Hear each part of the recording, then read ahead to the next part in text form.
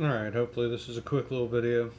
I just saw something in one of the groups on Facebook about Tusk filters being too long. Somebody was asking about some other brand, all they could get down in Chile or something until their order came in. And they thought that one was too short. I can't even remember the brand name. I've never seen it before. But somebody said Tusks were too long. Well, I have one that came with a bike I bought.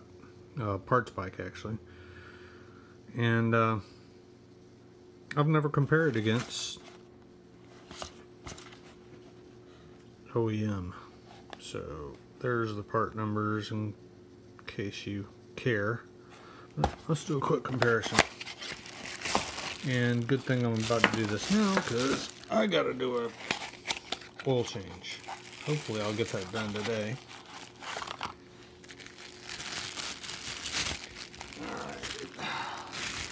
Now, a point made in the thread I was on on Facebook said they'd rather have too short than long. Or if I was a person that said, is that the glue? Let's see. I was looking over the top of the camera. The glue that holds the cartridge into the metal end caps. Kind of sticking out right there. Thought it was cardboard at first from the color. Um, but they're saying they will not use these because they're too long. But if it was a little too short, the rubber grommets in each end here would still seal against the center pin. I'd have to agree with that assessment. I'd rather have one just a hair too short than a hair too long. So, on that note, well, it looks like the same height to me, just the metal to metal. But, to be honest, This grommet sits taller. No. And I don't have a straight edge. Oh, and by the way, the grommet's sitting out further on both ends. And all this counter's clean, I ain't worried about it. it. Means that it's sitting a little taller off the counter than this one. This one's almost touching the metal part.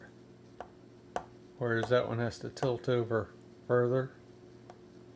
So anyways, the metal is flush right here and this is sticking up just a hair more than this one. So the Tusk would be fine as long as they're all manufactured. I'm not saying this is a quality filter and I trust it. It looks like it's made to about the same standards as long as the filter media holds up and does the proper micron catchment of part uh, particulates. Um, you can't tell that by the amount of light coming through it.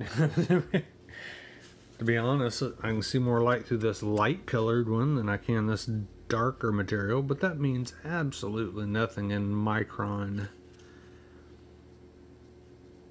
uh, size.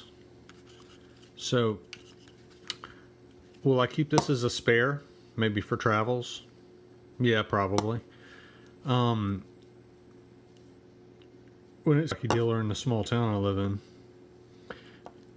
overpriced of course, but I have the option of picking up the Kawasaki filter, which nothing wrong with those. Not saying they're the best or the worst. Nothing wrong with them though. Never used a Tusk. Wouldn't be afraid to though. Um, but I have to answer a text message now, so yay. Um, high flow.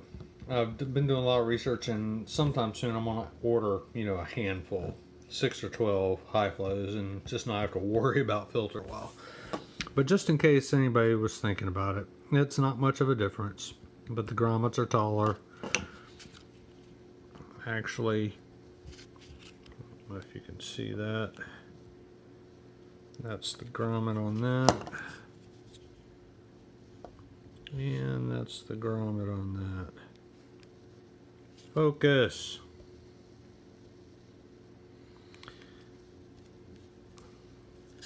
So, anyways, shutting this off. Too long.